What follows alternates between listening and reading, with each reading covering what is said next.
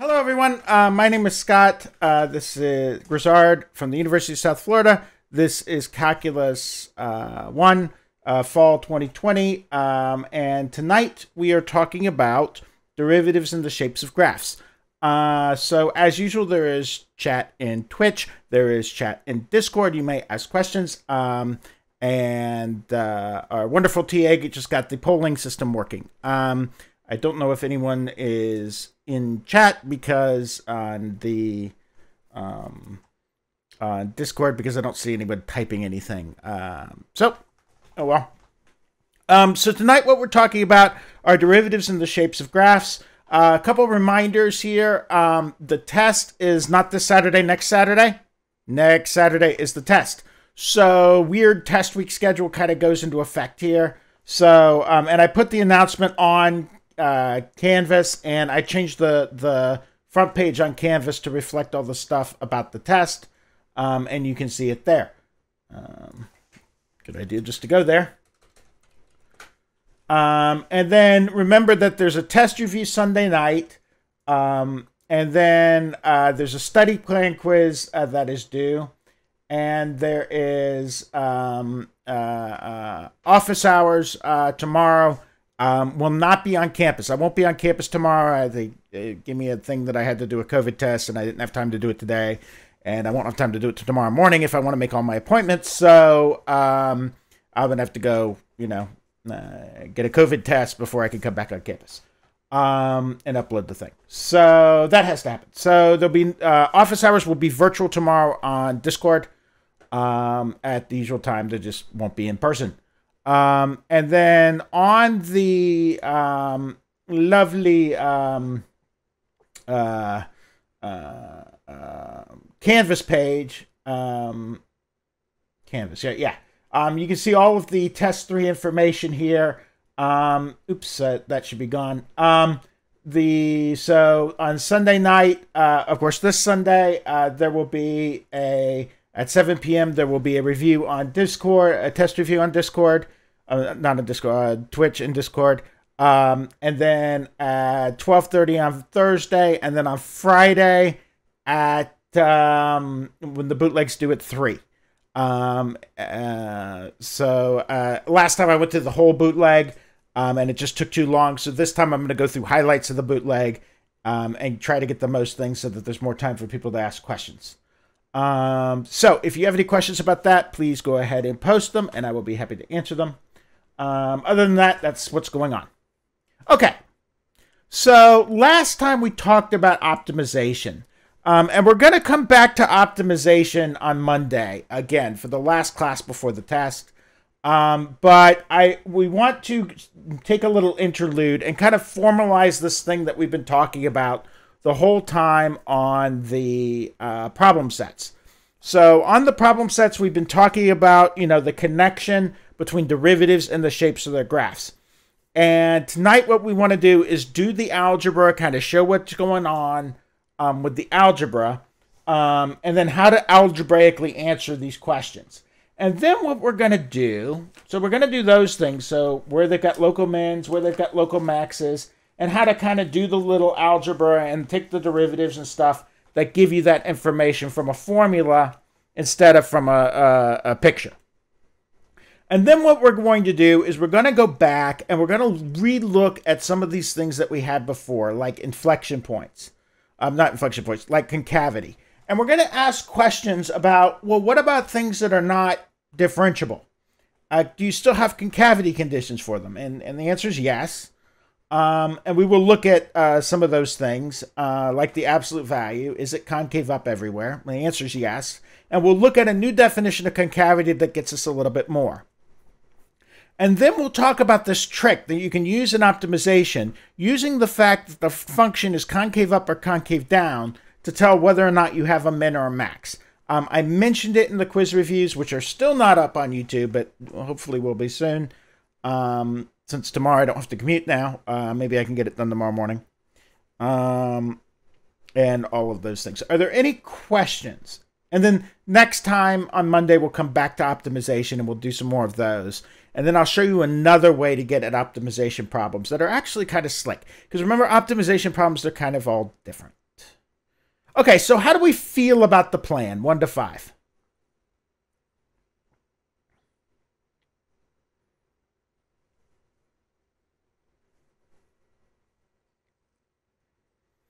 Okay.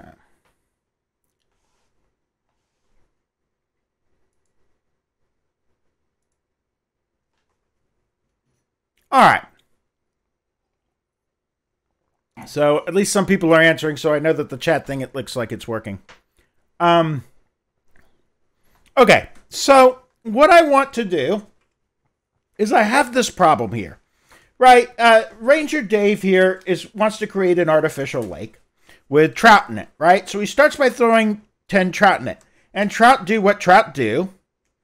Um and so tracking the the trout population he comes up with the fact that for the six first month, the number of fish in the pond uh, can be described by this function. Now, obviously, um, the function uh, has. Um, uh, now, first notice that this is a closed interval. And obviously, this function, you know, here I would wind up with like negative trout. Right, this negative t cube is going to take over as I go to infinity. Um, but you know, I, I can't have negative trout. But for the first six months, this was a very good kind of fit for his curve. And what we want to know is where is P increasing? Where is it decreasing? What are its, you know, uh, local, all the local extrema? And where are my concave up, concave down, and where are my inflection points? Okay. So basically, we want kind of the shape of the graph without actually looking at the graph. Let's talk about how we can do that. So the first problem is, and there's kind of three linked problems here. All right, so we'll call them A, B, and C. So where increasing, where decreasing, and where max mins uh, local.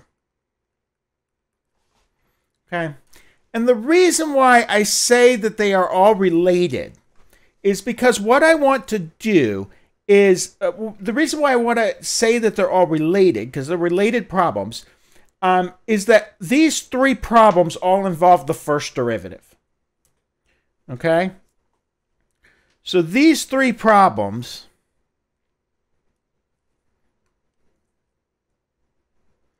are kind of first derivative.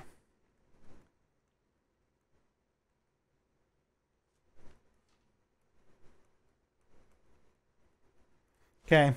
So what I want to do is I want to find the critical values of the function and then and then use the first derivative to kind of see what's going on. Uh, find critical values of f, which I remind you are where f prime of x equals 0 or f prime of x d and e. And I, I just want to, you know, see what's going on.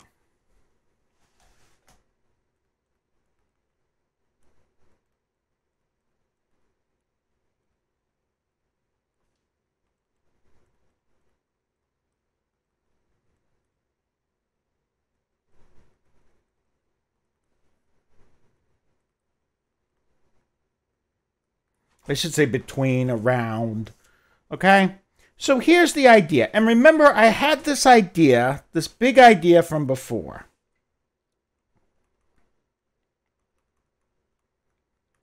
Right? Wherever f, if f prime is positive, f is increasing. And if f prime is negative, f is decreasing. Okay? And if you do these little tables, the min and max stuff is really easy. Okay, so let me show you what has to happen here. The first thing I'm going to do is I'm going to take the derivative. And I'm going to set it equal to 0. So let's just make a little thing. Critical numbers. Now, this is a closed interval, right? I've got less than or equal to. So this right here means that this is t on 0, 6 with closed endpoints. 1 to 5, how do we feel about that? That less than or equal to tells me I've got closed endpoints. So they go on.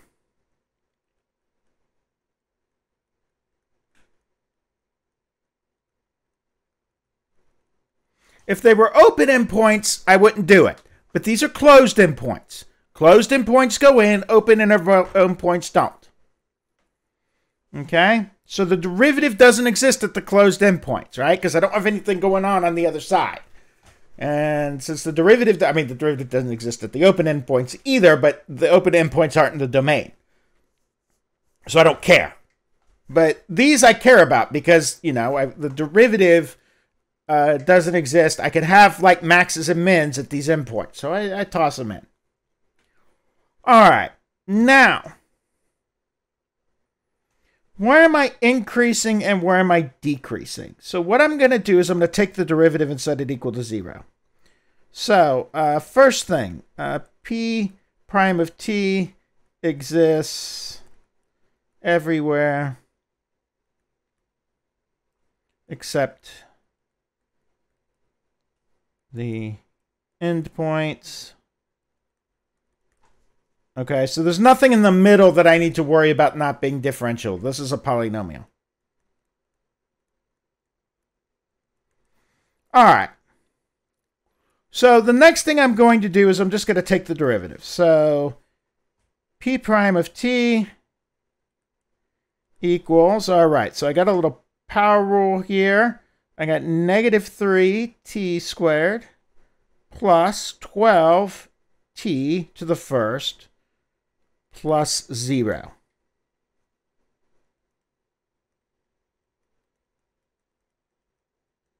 How do we feel about that? 1 to 5. Took the derivative. And now what I'm going to do is I'm going to factor it. So let's see. The t can come out, and so can a negative 3. Or let's just take a... yeah, no, let's leave the negative in there. So what I'm going to do is I'm going to take the t out, and then I'm going to rearrange this. This is going to become 12 minus 3t. And when I do that, I'm now going to factor out the 3, and I get 3t times 4 minus t. Okay. All right, now I'm going to set this equal to 0.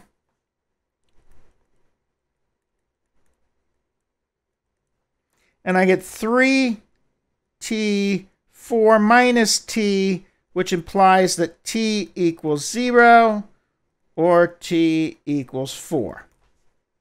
Okay, so now I've got a 0 and a 4. Um, this actually doesn't exist because p prime of t doesn't exist there, but who cares? Uh, these were 4 is interior of 0 of 6, but that's fine. So these were f prime of x equals 0. Um, um, so this should be uh, this right here. Note exists.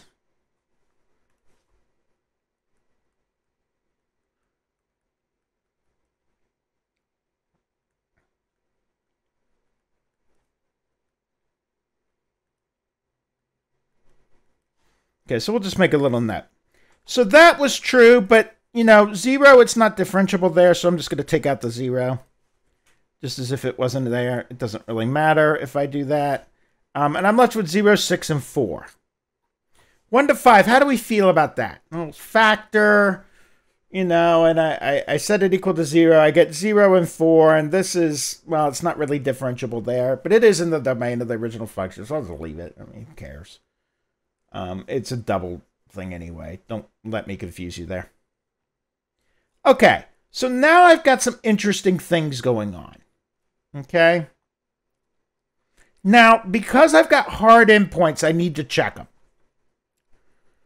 All right, but I'm going to make myself a little chart. All right, I've got T here, and here's my little chart.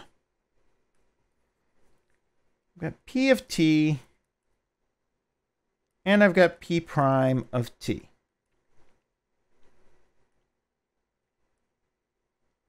Okay. So now my points are 0, skip, 4, skip, 6. And then this thing is going to be filled with the interval 0, 4, 0, 6. Okay. 1 to 5, how do we feel about that?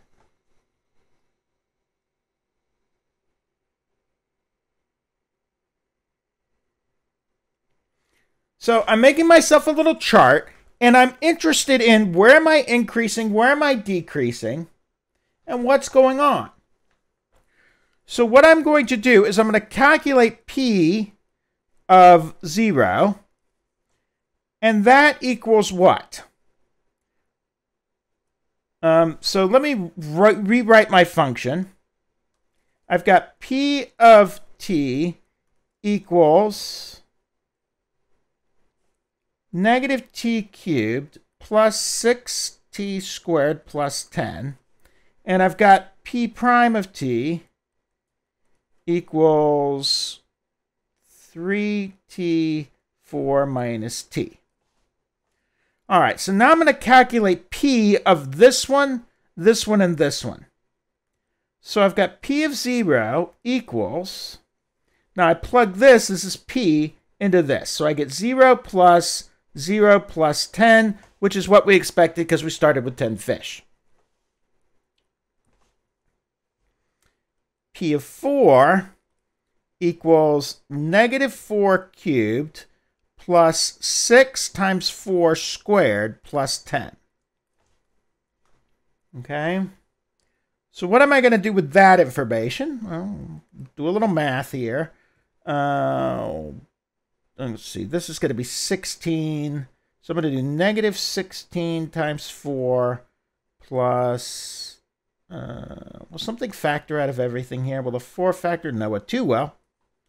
All right, so we're going to do negative 16 times 4. Uh, yeah, because that's on the outside. This is 6 times 16, and this is going to be plus 10. At some point, I'm just going to get a calculator out.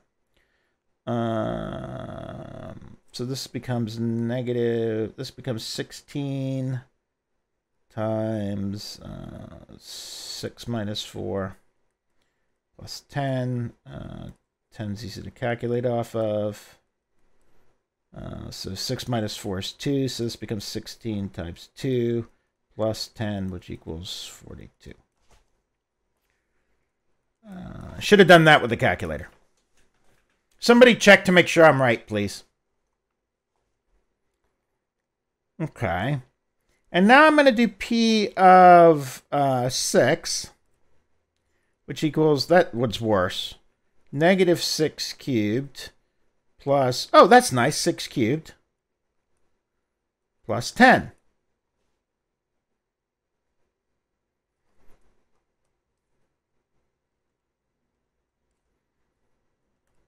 That equals 10. Right? Negative 6 cubed plus 6 cubed plus 10.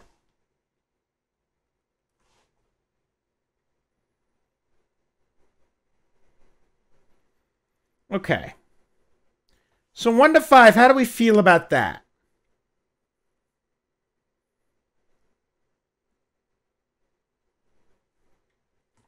Okay. Now what I'm going to do, there's two things I can do. The first thing is I can look at this and go, duh. Okay? I can look at this and go, duh, and put increasing, decreasing right there. Now, I know that because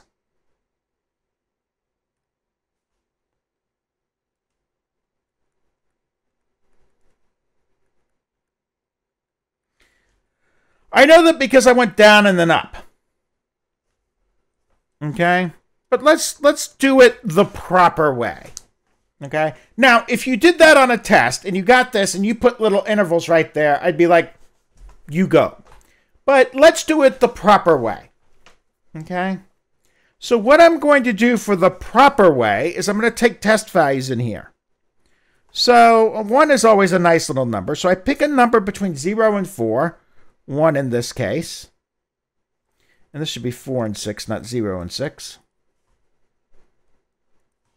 And then I pick a number between 4 and 6, uh, 5. And what I'm going to do is I'm going to throw those numbers into the derivative.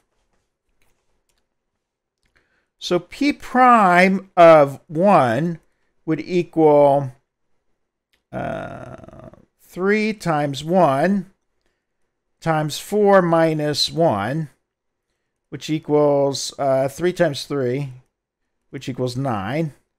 And I don't actually care. I only care that it's greater than 0. And p prime of 5 equals 3 times 5 times 4 minus 5. Yeah. Which equals 15 times... Uh, I don't actually care. The only thing I care about is the fact that that's negative. But 4 minus 5 is negative 1, so that's negative 15. So that gives me those things. And the fact that I went up and then down gives me a max.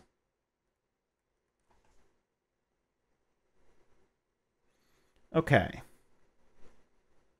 So 1 to 5, how do we feel about that? I went up and then I went down and I got a max. Now, it seems a little silly, but what happens if the endpoints don't exist, right? So it, it actually is worth doing. You, you should do these things. Uh, this one's a little bit silly. This one's a little bit silly because I have endpoints. Um, if I didn't have these endpoints, and we'll do one later where I don't have the endpoints, you'll see why it's important to, to do the first derivative testing. Okay, so now what I'll say is kind of my conclusion. P is uh, increasing on 0, 4 decreasing on 4 6 and has a local and global max at uh, 4 42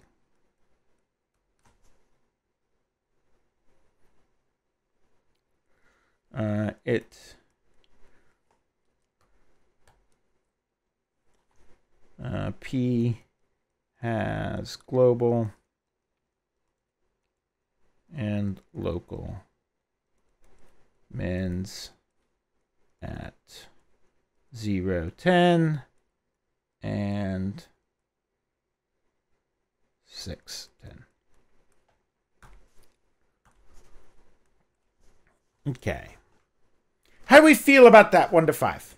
Okay, so here the okay, so the endpoints. The endpoints don't exist for the derivative.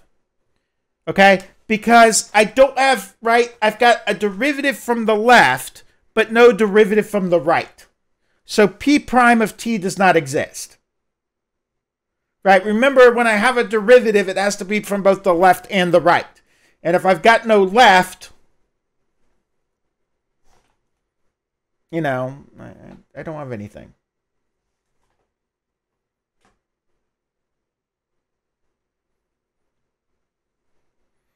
All right. Okay, the next part of this is figuring out the concavity conditions. Okay.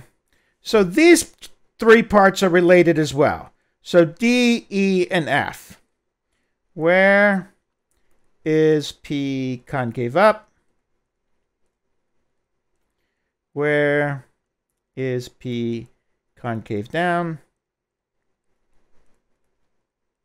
And where are the inflection points.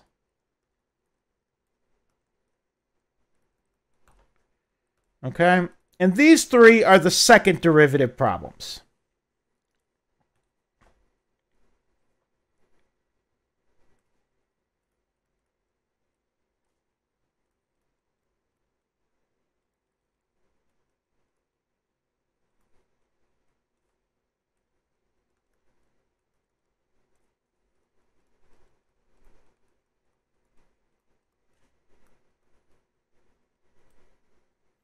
So what I want are the critical values of the first derivative. Does that make sense? And it's the exact same problem, except now I take the the uh, f prime as my function, and I find its critical values, its places where it's increasing, and places where it's decreasing. Okay? And let me show you what I mean. The problem is actually the exact same. Okay? So remember this little graph here.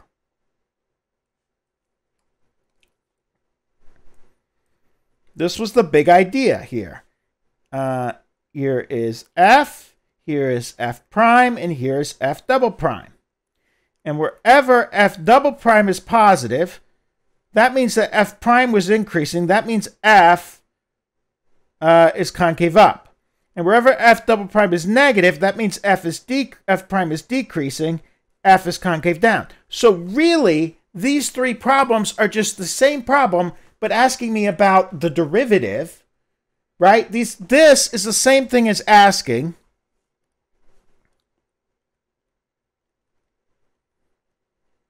where p prime is increasing.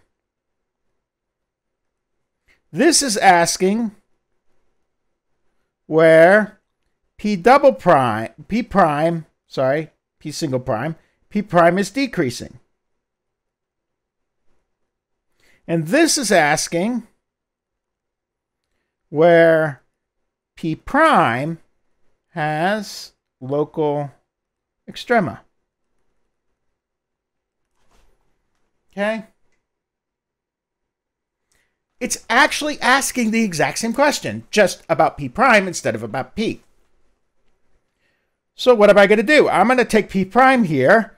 Um, I'm going to take this form because the derivative looks easier. So I've got p prime of t.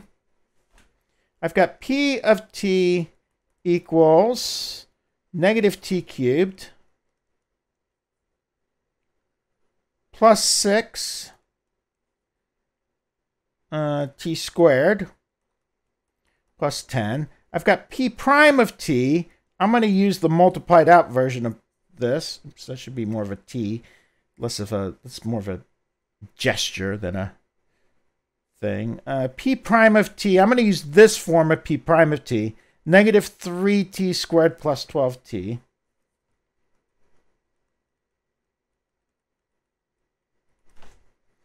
And now what I'm going to do is I'm going to take the second derivative.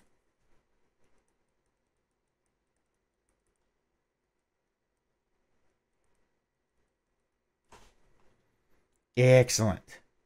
Okay, and now I'm going to find the, the, I'm going to set the second derivative equal to zero because what I'm looking for are the critical values of the first derivative. Okay, so critical values of p prime.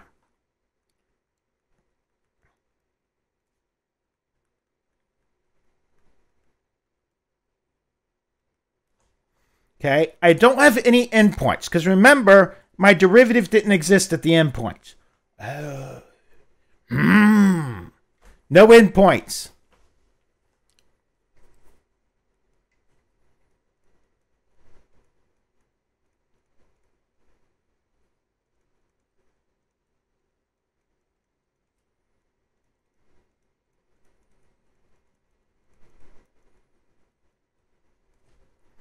Okay? Now, so what are my interesting values? I don't care about the endpoints anymore. I only care about where this is zero, right? P double prime defined on uh, D, D, D, D, D, uh, what was it? Uh, zero, six.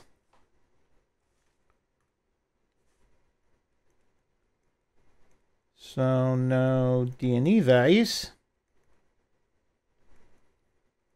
And then P double prime equals zero. There should be a T in there.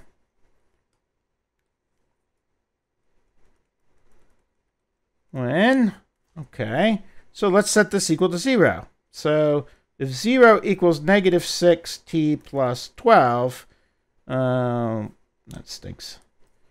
12 minus 6t still stinks. I should have factored out the 6, but you can see that it's going to be 2, right? Uh, that implies that t equals 2 when t equals 2. So I have one critical value. Uh, so someone's asking if the derivatives will ever exist at the endpoints. If they are hard, well, no, because if they're soft endpoints, they weren't in the domain of the function to begin with. If they're hard endpoints, then the first derivative gets rid of them. So that's a very good thought. The first derivative kills your endpoints.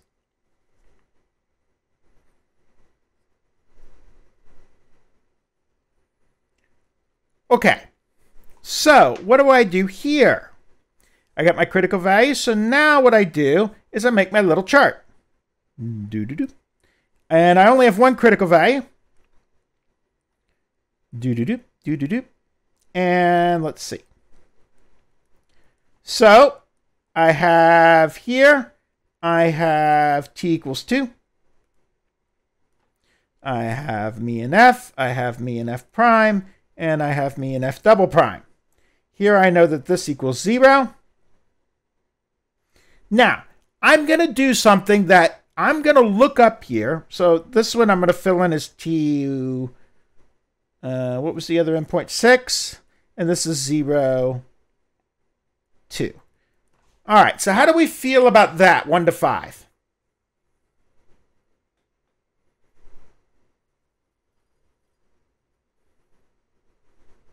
And don't let the endpoint thing mess you up, okay? It's just just remember if you have hard endpoints, you might have to do something different in the first derivative thing.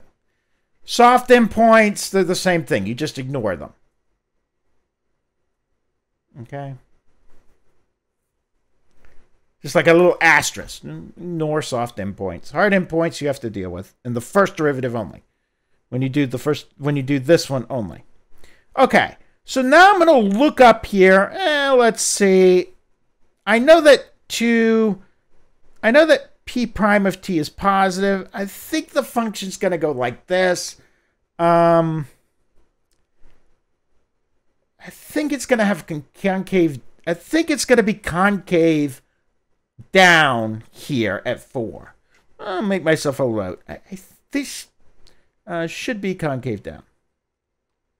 Right? I'm just kind of looking at what I did before, saying maybe. I don't have to do this, but it's just kind of a little check. Uh, should be thing. Should be four. Should be concave up.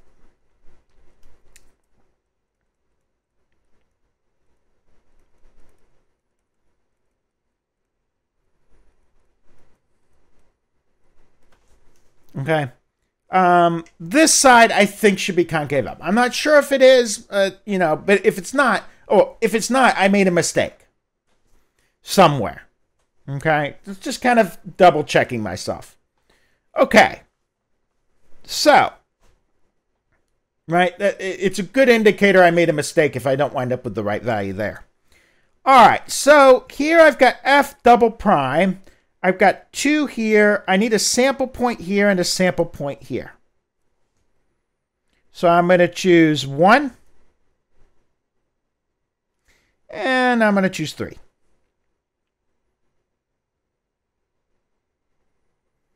Okay, so my sample points, f double prime of 1, or p double prime, not f. Go away. So p double prime of 1 equals uh, 12 minus 6 uh, equals 6, which is greater than 0. So this side is plus. That makes u increasing. That makes u concave up. P double prime of... Uh, 3 equals 12 minus 6 times 3 uh, equals negative 6, which is less than 0, minus their concave down. Wait a minute. Something's wrong. Oh, I rewrote that, right? That should have been concave down, not concave up, right? Because it does this, not this. Oops. My check was wrong, not my thing. Anyway, so I go up, down like this. So I'm concave up there, concave down there. I'll go ahead and solve that for that inflection point. This is nice to say. So P of 2, I plug that in here, equals negative 2 cubed plus 6 times 2 squared plus 10. And that gives me negative 8 plus, uh, 6 times 4, uh, 24 plus 10. And that's going to give me here, uh, uh, what will that be? That will be 26. Okay, how do we feel about that 1 to 5? I've made my little chart. So I just take the information on it. Okay, P is concave up on zero, two, concave down on 2, 6 and has an inflection point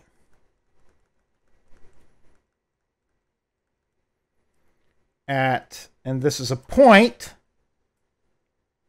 2, 26. I just kind of write down what I did. All right. It's always embarrassing when your little check thing, you're like, oh, yeah, you could do this clever check, and then you were wrong about your check. Oh.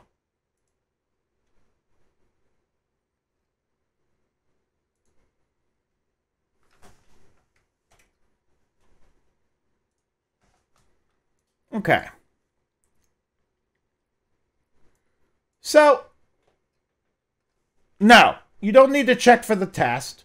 Um, it's just it's just kind of something I I would like to do, just because I'm just like eh, I don't know. All right, so let's pull this out and graph it. All right, so let's pull out old Desmos and graph this function and see if it it matched what we said. I said it was concave up from 0 to 2. And you can see the inflection point here.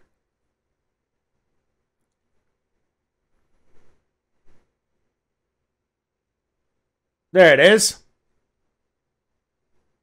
And then we said it had a max at t equals 4. There it is. And then we said it had a min here at t equals 6, because remember, it's chopped off here, right? It doesn't actually go off to negative whatever, right? It's chopped off. It, it stops uh, there. There we go. It stops there at 6. Okay. There we go. So 1 to 5, how do we feel about this?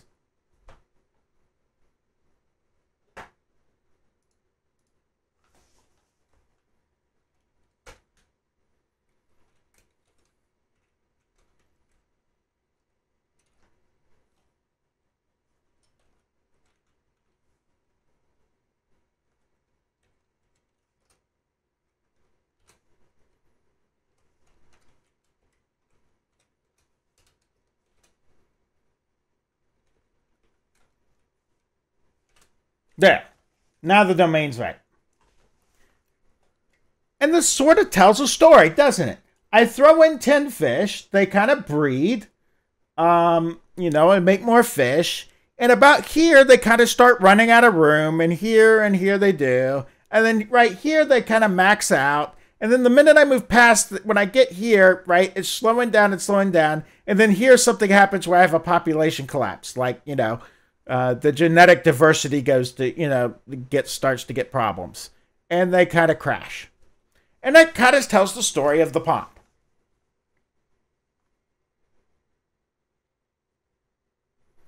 Okay.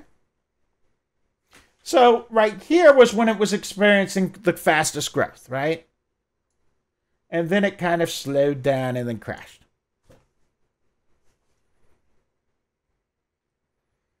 Right? As Rod Stewart would say, every picture tells a story, don't it? Okay. All right. Well, that was kind of interesting. Let's look at this function.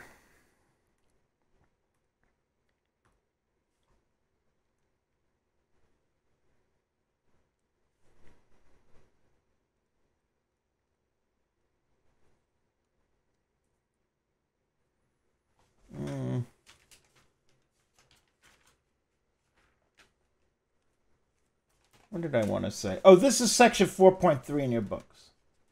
So, um, the technical name for this, excuse me,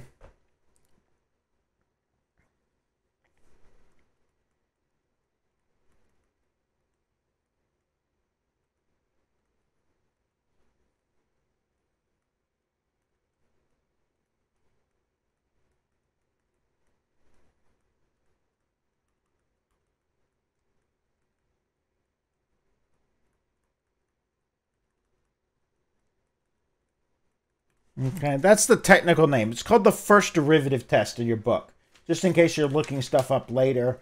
Um, uh, you know it, I know it. Um, the American people know it that you're going to go look up stuff um, because you don't like my videos. Um, you're going to go look up Khan Academy. Um, so just, you know, that's called the first derivative test if that's what you're looking up. Um, and that's what the book calls it. Okay. So recall we had this idea about concavity. Okay? So what was our definition of concavity? What was our picture? Right? We kind of had this and this, and then we had like something that looked like this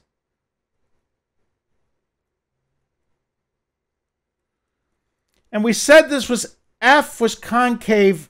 Uh, so we had this idea that F was concave uh, down.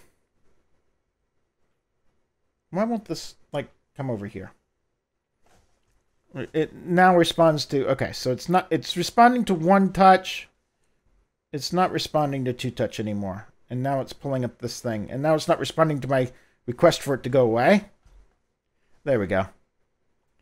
All right, so I had this idea. It's not responding to two touch. Uh, let's see. Can I do this another way? Yes. So I had this idea. Wait, nope. Shapes. That F was concave down.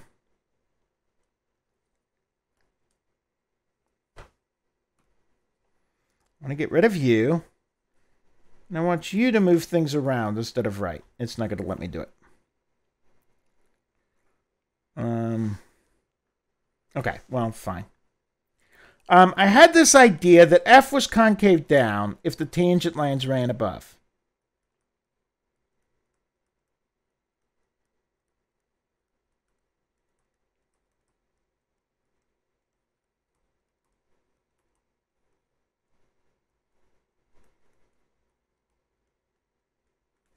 Okay, so one to five, how do we feel about that?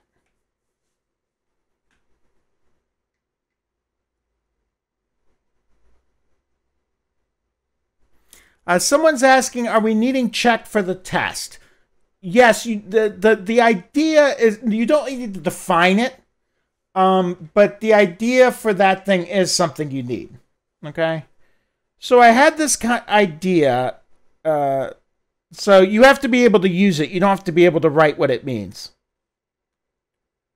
If that's what you're asking. Um, okay. So that's a lovely idea. But look at the secant lines here. Let's see if this will work again. Nope. It just hates me. Okay. Let's look at the secant lines here. The tangent line ran above. That means the secant lines are running below.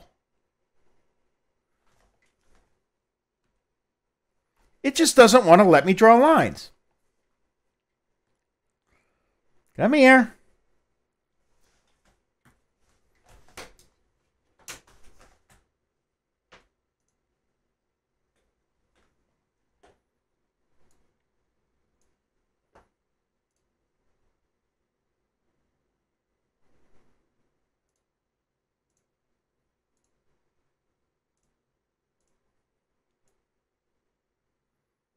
Use the mouse to draw the line. There we go. Oops.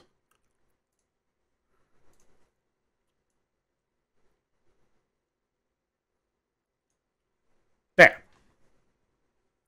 Use the other computer and the mouse. Okay. That means the secant lines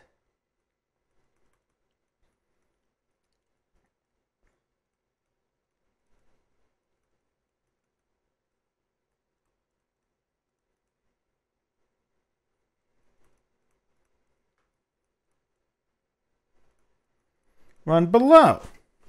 So I have this idea. Remember from linearization, I had the following definition. F, let F uh, uh, be defined on D. F is concave down at x equals a if for all x near a uh, L of LFA of x equals uh sorry um do do do LFA of x is greater than or equal to f of x. Okay, so 1 to 5, how do we feel about that definition? That was the one where the uh, the that means that the tangent lines run above. Okay, so 1 to 5, how do we feel about that? The tangent lines are running above. But notice that this requires x to be differentiable at a. I can do better. Um, f is concave up at x equals a if for all x near a uh, L F. This is tangent lines run below. Uh, tangent lines run above, tangent lines run below. All right. I can do one better.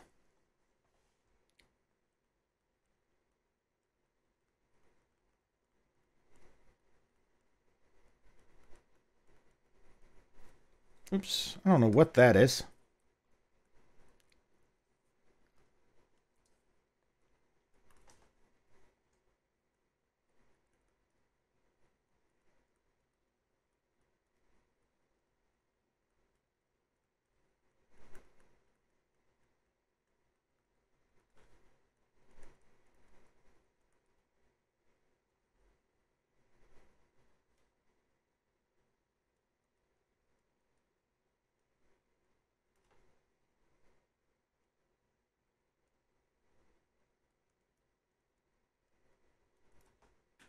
Now what I want to say is all the secant lines run below. Okay? So what I'm going to say is f is concave down on the interval AB if for all uv subset of AB, notice this is a closed interval, that's a closed interval. Uh, S of ab of x is less than or equal to f of x. And then for all x and uv. So what I'm saying, and this is a much harder definition, but it's more general. And here's what I'm saying. Let's say I've got this function, and I've got here, this is f, and f has some points where it's not differentiable, right? So I've got f, and it's got like there, and then there's a kink at f. And let's do something like this.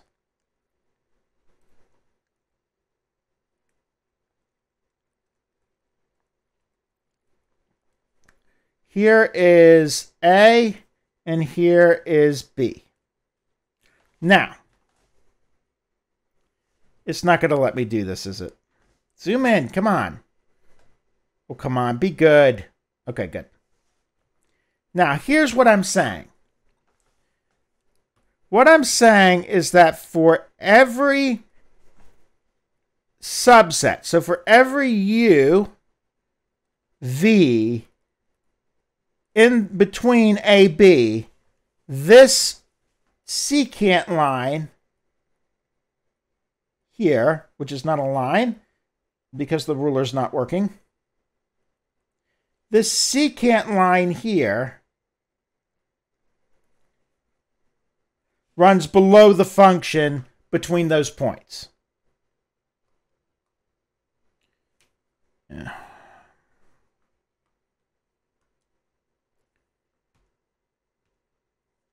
Come on.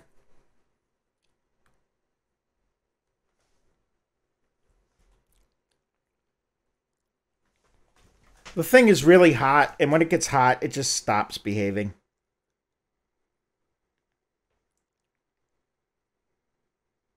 Picking it up seems to have worked. Maybe it's getting cooler now or something. There we go.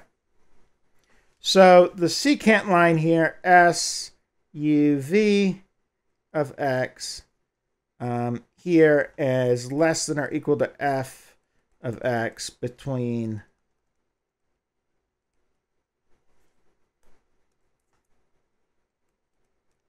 u and v. So this is concave down. Okay, how do we feel about that? One to five.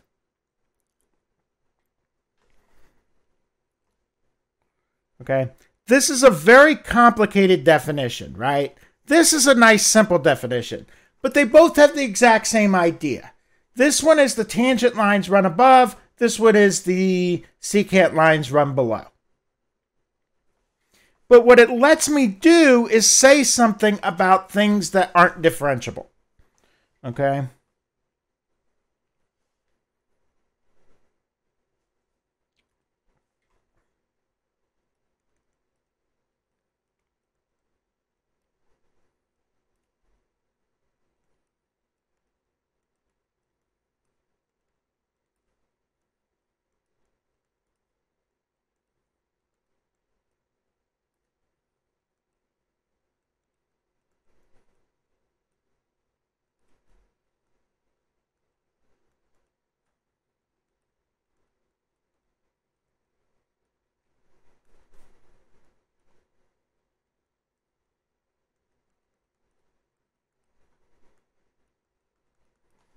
Okay, so this is secant lines below,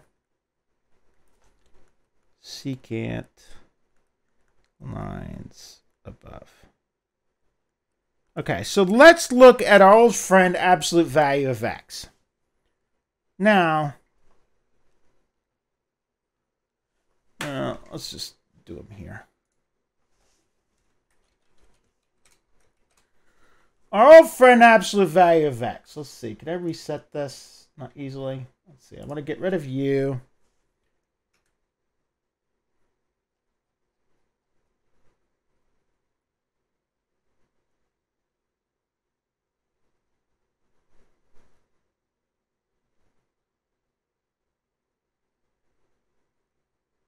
All right.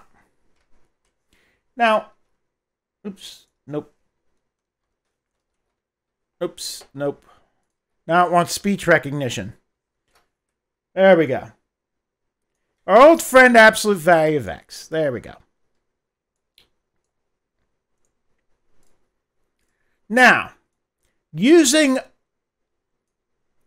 our old definition, right, I couldn't say anything about the interval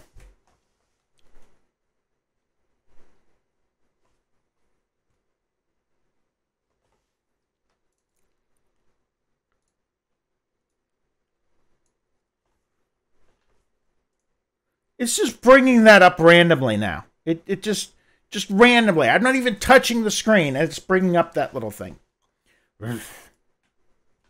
Okay.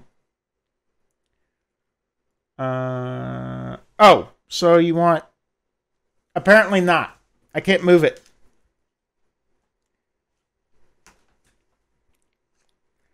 You mean this one? The graph. Someone's asking me to focus on the graph. Okay. So, our old friend here, absolute value of x. Okay, now notice that this absolute value of x, or ABS of x, is actually concave down from negative infinity to 0 and 0 to positive infinity.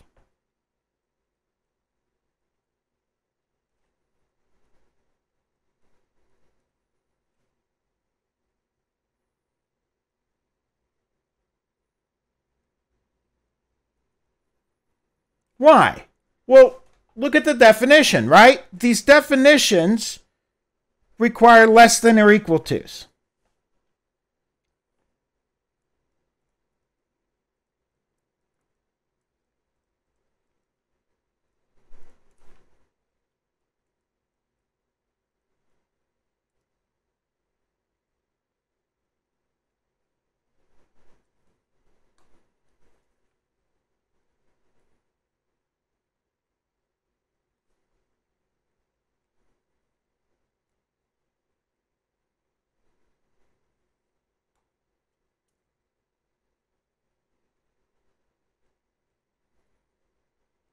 So lines are both concave up and concave down. 1 to 5, how do we feel about that? The definitions require less than or equal to, and not just less than, so lines are actually both.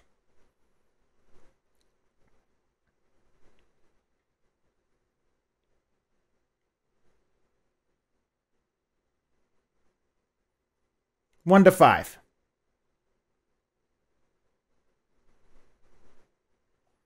Uh, do, do, do, do, do.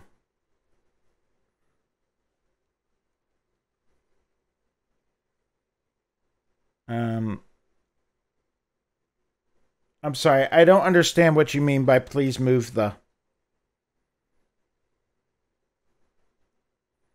Okay. However, ABS is concave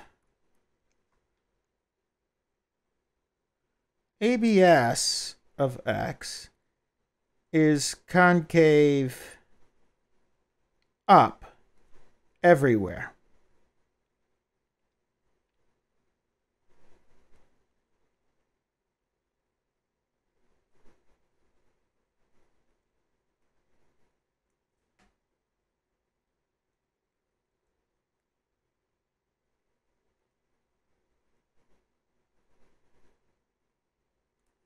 Right? So now I have the secant line idea, and my secant lines run above the curve.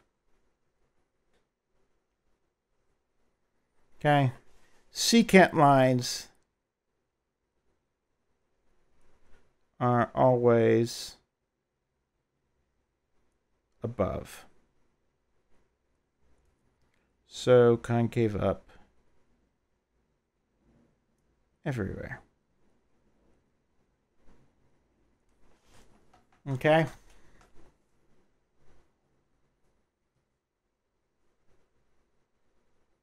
How we feel about that? One to five. Hmm.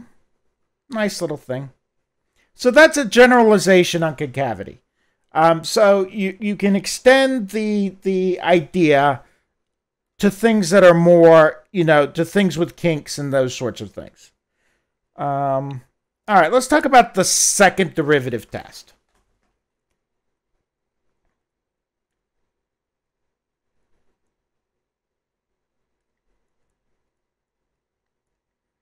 Okay?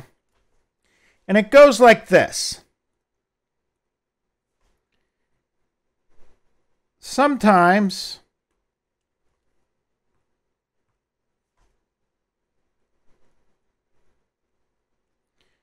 I can discover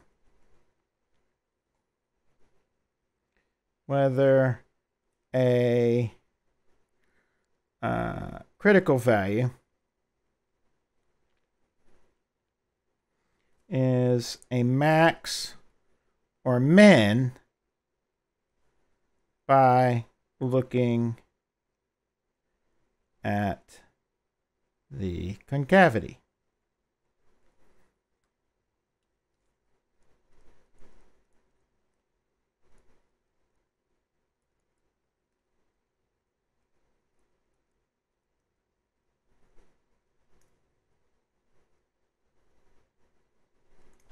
Okay?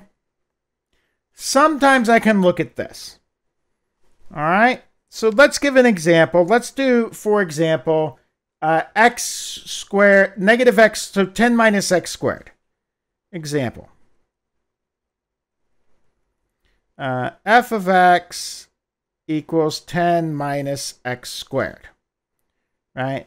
So f prime of x equals uh, negative 2x, f prime of x equals 0 implies that x equals 0.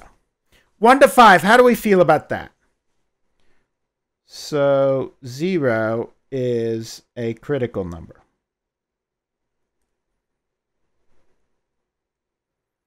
For f.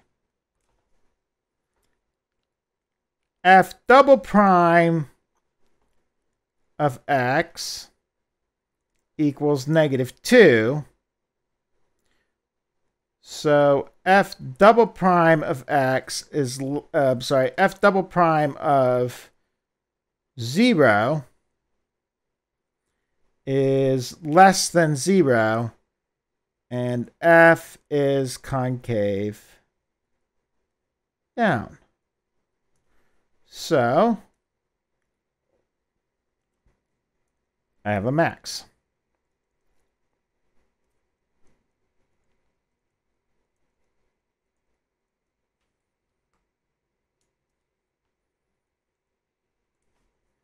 Okay. Okay, so the second derivative test says the following.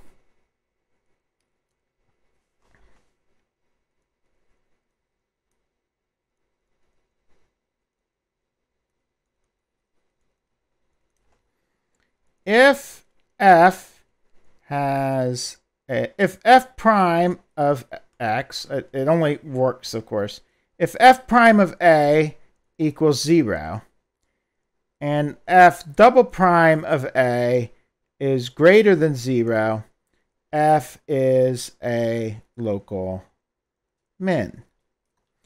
If f prime of a equals 0, and f prime of a is f double prime of a is less than zero, then f uh, d, d, d, d, d. then f of a is a local min and f of a is a local max. And the pictures that go with this are like this, A, up, min, A, down, max. Okay, one to five, how do we feel about this? So that's that second derivative test thing that I was doing last time on the quiz, where I said, oh, you can take the second derivative and look at what it means. But there's a caveat.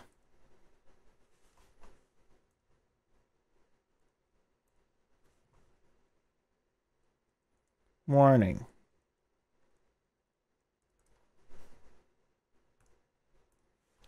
If f double prime of a equals zero, the test tells you nothing. No, you don't have to write these definitions. You just apply them. Um, the pictures help. Basically, what you do is you remember the picture. Yeah. Um, oops, this should be part of the F. If f double prime of a equals 0, the test tells you nothing. I can make a prettier f than that, even with the hot thing. There we go. That's worse. That's better. Okay. So, example.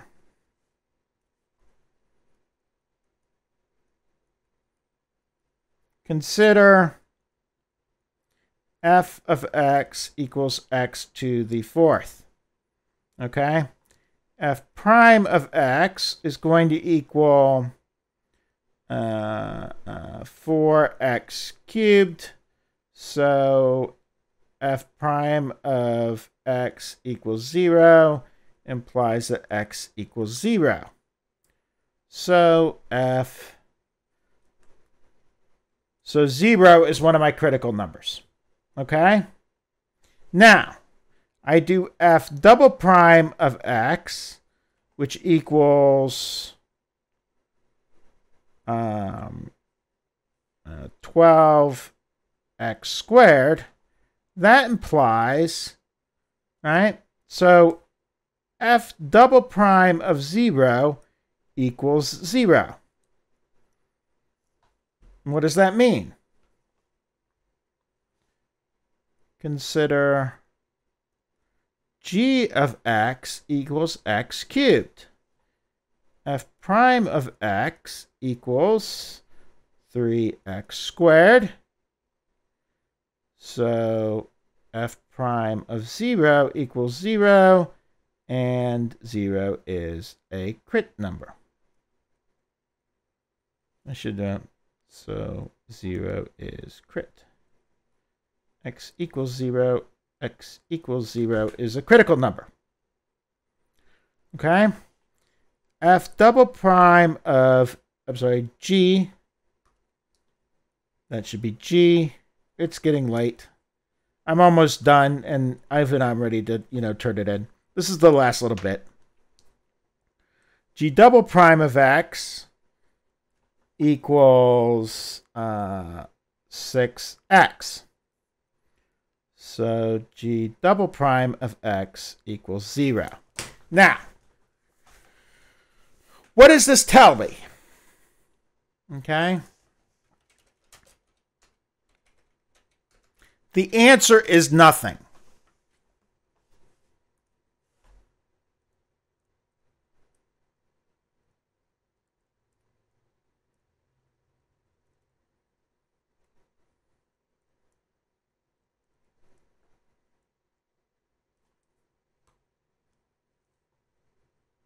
Okay, I promise you it's not my handwriting right now. It really is that the tablet's hot and it's got very poor response. Okay, but the point is that these double derivatives are telling me nothing. These are two very, very, very different functions. Okay, so let's graph them. There's x to the fourth. And look, I did have a minimum. Also notice I did not have an inflection point. The fact that the derivative was zero did not, the second derivative was zero, did not give me an inflection point. Let's look at x cubed. x cubed has neither a min nor a max. But for both of these, f double prime of x was z, f double prime of 0 was 0. And that gave me no information. Okay? So the first derivative test gives you information pretty much no matter what. Um, no matter what. Okay? The second derivative test doesn't.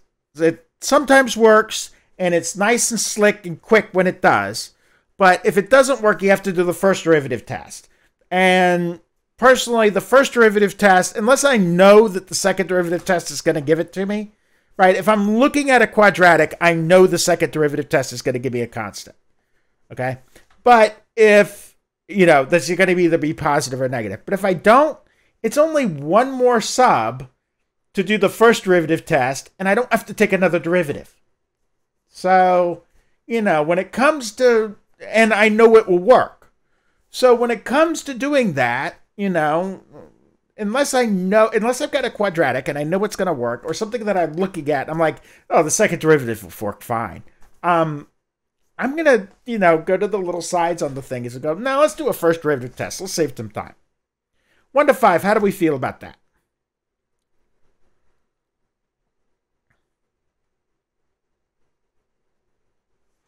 Okay. So let's just do what we what we talked about today. So let's just go over just briefly what we talked about today. Um, hopefully the screen will come back. Uh, the tablet is very hot, so it's like it doesn't want to do anything. It just wants to like it wants to go to bed. It's like you taught too much today. So let's just talk about really fast what we talked about today. We used the the derivatives and the shapes of graphs, and we used this big idea here and this other big idea here. I should write that it's a big idea.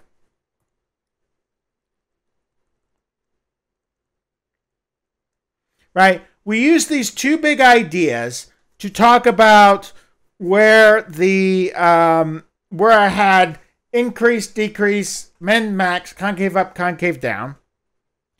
Okay, and then I talked about this kind of generalization on concavity, which you don't really you don't need, by the way, you don't need these formal definitions. Okay, yet uh, yet being you're not taking Calc three. All right, you don't need these or bridge to abstract. You don't need these formal definitions, um, but they exist. Um, and I do want you to have the intuitive notion.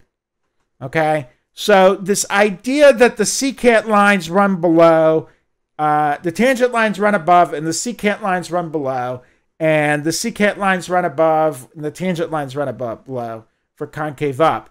That I do want you to have. You need this intuition, but you don't need the formal awful definition with double quantifiers here. I mean, this has got one quantifier, two quantifiers. I got a little subset thing. Okay, but I do want you to have the intuition about this fact that we can generalize. And then we went over the second derivative test with this big warning that it doesn't always work. Okay, it doesn't always reveal the answer.